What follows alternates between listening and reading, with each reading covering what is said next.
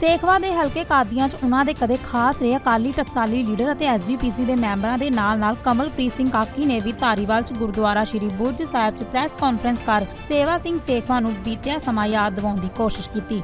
ਇਸ ਮੌਕੇ ਕਮਲਪ੍ਰੀਤ ਸਿੰਘ ਕਾਕੀ ਨੇ ਕਿਹਾ ਕਿ ਸੇਖਵਾ ਕਹਿ ਰਹੇ ਹਨ ਕਿ ਸ਼੍ਰੋਮਣੀ ਅਕਾਲੀ ਦਲ ਦਾ ਅਧਿਕਾਰ ਸਿੱਖ ਬੁੱਧੀਜੀਵੀਆਂ ਨੂੰ ਦੇਣਾ ਚਾਹੀਦਾ ਹੈ। ਉਹਨਾਂ ਕਿਹਾ ਕਿ ਸੇਖਵਾ ਨੂੰ ਕੀ ਇਹ ਗੱਲ ਦਾ ਨਹੀਂ ਪਤਾ ਕਿ ਐਸਜੀਪੀਸੀ ਮੈਂਬਰ ਸਿੱਖ ਵਿਦਵਾਨ ਹੁੰਦੇ ਹਨ। ਉਹਨਾਂ ਕਿਹਾ ਕਿ ਸੇਖਵਾ ਨੂੰ ਸਿਰਫ ਆਪਣੀ ਕੁਰਸੀ ਦਾ ਲਾਲਚ ਦਿਖ ਰਿਹਾ ਹੈ ਕਿਉਂਕਿ ਜਦੋਂ ਅਕਾਲੀ ਦਲ ਵੱਲੋਂ ਦਿੱਤੇ ਗਏ ਉੱਚੇ ਅਹੁਦੇ ਤੇ ਤਣਾਅ ਸੀ ਤਦ ਤਾਂ ਸੇਖਵਾ ਨੇ ਇਸ ਤਰ੍ਹਾਂ ਦੇ ਬਿਆਨ ਨਹੀਂ ਦਿੱਤੇ। ਪਹਿਲਾਂ ਤਾਂ ਮੈਂ ਪਾਰਟੀ ਨੂੰ ਬੇਨਤੀ ਕਰਾਂਗਾ, ਸਾਰੀ ਲੀਡਰਸ਼ਿਪ ਬੈਠੀ ਹੈ ਵੀ ਇਹਨੂੰ ਬਰਖਾਸਤ ਇਹਨੂੰ ਬਰਖਾਸਤ ਕੀਤਾ ਜਾਵੇ। ਦੂਜੀ ਗੱਲ ਜਿਹੜੀ ਤੁਸੀਂ ਕਿਹਾ ਕਿ ਸਿੱਖਾਂ ਦਾ ਚੈਨਲ ਬਣਾਇਆ ਜਾਵੇ, ਮੈਂ ਸੇਖਵਾ ਸਾਹਿਬ ਨੂੰ ਇਹ ਗੱਲ ਪੁੱਛਣੀ ਚਾਹੁੰਦਾ ਆ ਕਿ ਜਿਹੜਾ ਸ਼੍ਰੋਮਣੀ ਕਮੇਟੀ ਮੈਂਬਰ ਬਣ ਕੇ ਜਾਂਦਾ, ਕੀ ਉਹ ਵਿਦਵਾਨ ਨਹੀਂ? ਕੀ ਉਹ ਉਹ ਉਹਨੂੰ ਸਿੱਖ ਇਤਿਹਾਸ ਬਾਰੇ ਕੁਝ ਨਹੀਂ ਪਤਾ? ਇਹ ਚੁਣ ਕੇ ਗਏ ਆ ਕਿ ਇਹ ਵਿਦਵਾਨ ਨਹੀਂ? ਆ ਸਾਡੇ ਗੁਰਿੰਦਰਪਾਲ ਸਿੰਘ ਗੋਰਾ ਜੀ ਬਣ ਕੇ ਗਏ ਆ ਕਿ ਇਹ ਵਿਦਵਾਨ ਨਹੀਂ? ਸਾਰੇ ਇਹ ਵਿਦਵਾਨ ਨੇ ਜੇ ਪੰਜਾਬ ਦੇ ਲੋਕਾਂ ਨੇ, ਹਿੰਦੁਸਤਾਨ ਦੇ ਲੋਕਾਂ ਨੇ ਇਹ ਸ਼੍ਰੋਮਣੀ ਕਮੇਟੀ ਮੈਂਬਰ ਚੁਣ ਕੇ ਭੇਜਿਆ, ਤਾਂ ਉਹ ਵਿਦਵਾਨ ਨੇ। ਤੇ ਇਹਨਾਂ ਦੇ ਪੈਨਲ ਵਿੱਚੋਂ ਇਹ ਜਿਹੜਾ ਕਹਿਣਗੇ ਉਹ ਚੁਣਿਆ ਜਾਊਗਾ। ਸੇਖਵਾਂ ਸਾਹਿਬ ਤੇ ਹੁਣ ਮੈਨੂੰ ਲੱਗਦਾ ਬਖਲਾਟ ਚ ਆ ਕੇ ਕੋਈ ਇਹੋ ਜਿਹਾ ਬਿਆਨ ਦਿੱ- ਜਿੱਦਾਂ ਦਿੱਤੇ ਜਾਂਦੇ ਉਹਨਾਂ ਦੇ ਬਿਆਨ ਦਾ ਕੋਈ ਤੁੱਕ ਨਹੀਂ ਬਣਦਾ। ਇਹ ਚਾਹੁੰਦਾ ਹੈ ਕਿ ਮੈਂ ਵਿੱਚ ਰਹਿ ਕੇ ਸ਼ੁਰਾ ਮਾਰਾਂ। ਦੇਖੋ ਜਿੰਨੇ ਵੀ ਪਾਰਟੀ ਦੇ ਕਾਦੀਆਂ ਹਲਕੇ ਤੇ ਟਕਸਾਲੀ ਵਰਕਰ ਨੇ, ਸਾਰਿਆਂ ਨੂੰ ਇਹਨੇ, ਇਹਨਾਂ ਦੇ ਪਰਚੀਆਂ ਕਰਕੇ ਤੇ ਅੰਦਰ ਸੁੱਟਿਆ। ਅੱਜ ਜਗ ਜਿੰਦੀ ਜਗਦੀ ਮਿਸਾਲ ਆ ਸਰਦਾਰ ਤਰਲੋਕ ਸਿੰਘ ਛੋਟੇਪੁਰ। ਅਸੀਂ ਜਿੰਦੀ ਜਗਦੀ ਮਿਸਾਲ ਆ। ਮੇਰੇ ਭਰਾ ਤੇ ਇਹਨੇ 302 ਦਾ ਪਰਚਾ ਦਰਜ ਕਰਵਾਇਆ ਸੀ। ਇਹ ਤੇ ਜਦੋਂ ਉਸ ਨੇ ਧਰਮ ਯੁੱਧ ਮੋਰਚੇ ਵਿੱਚ ਜੇਲਾਂ ਕੱਟੀਆਂ, ਜਦੋਂ ਬਾਦਲ ਸਾਹਿਬ ਨੇ ਏਸ਼ੀਅਨ ਗੇਮਾਂ ਵਿੱਚ ਗਏ, ਉਦੋਂ ਜੇਲਾਂ ਕੱਟੀਆਂ। ਉਹਨਾਂ ਨੂੰ ਚੁੱਕ ਕੇ ਇਹਨਾਂ ਨੇ ਉੱਤੇ ਪਰਚੇ ਕਰਾਏ। ਇਹ ਕਿਹੜੇ ਟਕਸਾਲੀ ਦੀ ਗੱਲ ਕਰਦਾ? ਕਿਹੜੇ ਅਕਾਲੀ ਦਲ ਦੀ ਗੱਲ ਕਰਦਾ? ਕਿਉਂ ਇਹ ਇਹੋ ਜੀ ਗੱਲ ਕਰ ਰਿਹਾ ਜਿਹੜਾ ਇਹ ਅਕਾਲੀ ਦਲ ਨੂੰ ਬਦਨਾਮ ਕਰਨ ਦੀ ਕੋਸ਼ਿਸ਼ ਕਰ ਰਿਹਾ? ਬਿਲਕੁਲ ਇਹ ਅੰਦਰ ਰਹਿ ਕੇ ਨੁਕਸਾਨ ਪਹੁੰਚਾ ਰਿਹਾ। ਦੇਖੋ ਜੀ, ਉਹ ਸਾਡੇ ਪਾਰਟੀ ਪ੍ਰਧਾਨ ਨਹੀਂ ਜੋ ਉਹਨਾਂ ਦਾ ਹੁਕਮ ਹੋਏਗਾ, ਅਸੀਂ ਉਹ ਕਰਾਂਗੇ। ਪਰ ਸਾਡੀ ਮੰਗ ਇਹ ਹੈ ਕਿ ਇਹਨੂੰ ਪ੍ਰਕਾਸ਼ ਕੀਤਾ ਦੇਖੋ ਜੀ, ਉਹ ਤਾਂ ਲੱਗ ਲੱਭ ਹੀ ਰਿਹਾ ਜੀ।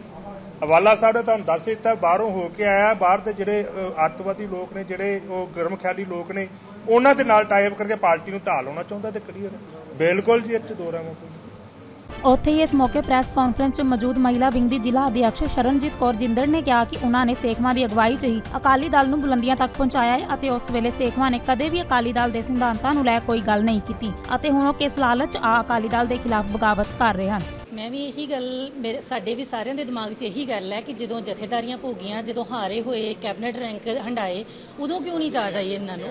ਅੱਜ ਯਾਦ ਕਿਉਂ ਆ ਗਈ ਹੈ? ਜਦੋਂ ਵਜ਼ੀਰੀਆਂ ਹੰਡਾਰੇ ਸੀ, ਜਦੋਂ ਕਹਿੰਦੇ ਸੀਗੇ ਕਿ ਮੈਨੂੰ ਹਾਰੇ ਹੋਏ ਨੂੰ ਝੰਡੀਆਂ ਲੱਗੀਆਂ ਨੇ, ਮੇਰੀ ਕੋਈ ਹਵਾ ਵੱਲ ਨਹੀਂ ਵੇਖ ਸਕਦਾ, ਮੈਨੂੰ ਅੱਜ ਹੈਰਾਨਗੀ ਹੁੰਦੀ ਹੈ ਇਹ ਗੱਲ ਤੋਂ।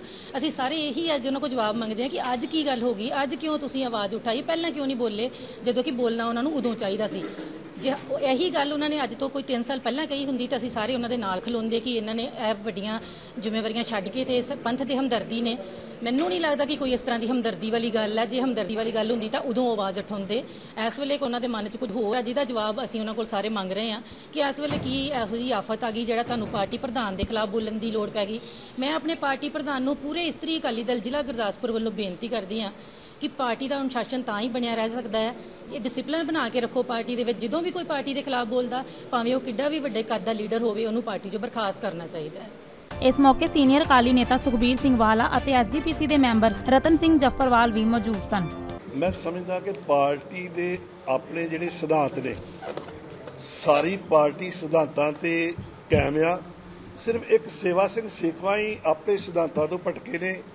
ਮੈਂ ਸਮਝਦਾ ਕਿ ਸਰਦਾਰ ਸੇਵਾ ਸਿੰਘ ਸੇਖਵਾ 3-4 ਮਹੀਨੇ ਵਿਦੇਸ਼ ਚਲਾ ਕੇ ਆਏ ਨੇ। ਉੱਥੇ ਇਹਦੀ ਗਰਮਦਲੀਆਂ ਨਾਲ ਮੀਟਿੰਗਾਂ ਹੋਈਆਂ ਨੇ, ਅੱਤਵਾਦੀਆਂ ਨਾਲ ਇਹਦੀਆਂ ਮੀਟਿੰਗਾਂ ਹੋਈਆਂ ਨੇ, ਇਹਦੀਆਂ ਅੱਤਵਾਦੀਆਂ ਨਾਲ ਗਤੀਵਿਧੀਆਂ ਚੱਲੀਆਂ ਨੇ।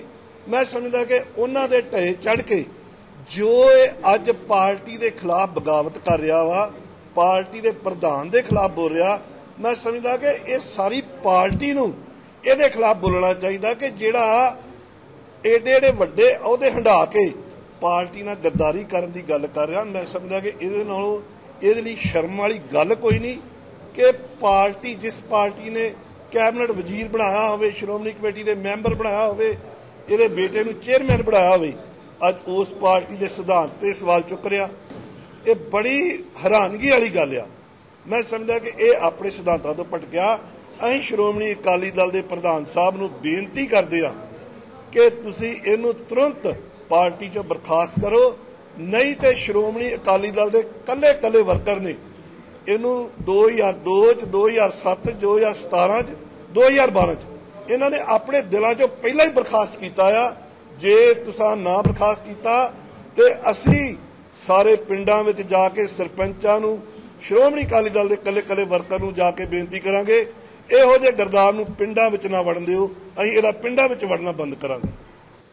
ਜਿਹੜਾ ਵਰਕਰ ਪਾਰਟੀ ਦਾ ਸ਼ਾਸਨ ਹੁੰਦਾ, ਜਿਹੜਾ ਵਰਕਰ ਪਾਰਟੀ ਦੇ ਖਿਲਾਫ ਬਿਆਨ ਦਿੰਦਾ, ਪਾਰਟੀ ਦੇ ਪਾਲਸੀਆਂ ਦੇ ਖਿਲਾਫ ਬਿਆਨ ਦਿੰਦਾ, ਸ਼ਾਸਨੀ ਕਾਰਵਾਈ ਕਹਿੰਦੀ ਆ, ਇੱਕ ਮਿੰਟ ਤੋਂ ਪਹਿਲਾਂ ਉਹਨੂੰ ਬਾਹਰ ਕਰਨਾ ਚਾਹੀਦਾ ਅਕਾਲੀ ਦਲ ਚੋਂ। ਜਦੋਂ ਇੰਨੀ ਵਾਰ ਵਜ਼ੀਰ ਬਣਿਆ, ਇੰਨੀ ਵਾਰ ਕੋਰ ਕਮੇਟੀ ਦਾ ਮੈਂਬਰ ਬਣਿਆ ਟਕਸਾਲੀ ਅਕਾਲੀਆਂ ਦੀ ਕਮੇਟੀ ਦਾ ਮੈਂਬਰ ਬਣਿਆ, ਕੋਈ ਕਮੇਟੀ ਬਣੇ ਉਹਦਾ ਮੈਂਬਰ ਰਿਹਾ। ਉਦੋਂ ਕਿਉਂ ਨਹੀਂ ਸੁਧਾਰ ਲਿਆਂਦਾ? ਉਦੋਂ ਕਿਉਂ ਨਹੀਂ ਗੱਲ ਕੀਤੀ? ਹੁਣ ਸ਼੍ਰੋਮਣੀ ਕਮੇਟੀ ਦੀ ਪ੍ਰਧਾਨਗੀ ਮੰਗਦਾ। ਪਿਛਲੀ ਵਾਰੀ ਵੀ ਮੰਗਦਾ, ਵੋਟ ਪਾਉਣ ਨਹੀਂ ਗਿਆ।